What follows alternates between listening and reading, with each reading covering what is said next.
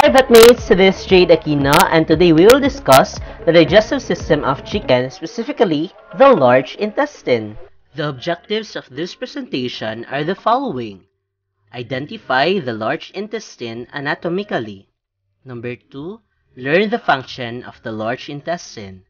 Lastly, understand the importance of large intestine. Large intestine is a tube-like organ following the small intestine and runs in a straight line below the vertebra and ends at the cloaca. Shorter than the small intestine, it is mostly 4 inches in length in mature chickens. Also called the colon, it is where the last water absorption takes place, creating and storing undigested waste material which is excreted in the cloaca. The cloaca is the common chamber to which digestive, urinary, as well as genital tracts converge. That would be all for the large intestine. Thank you!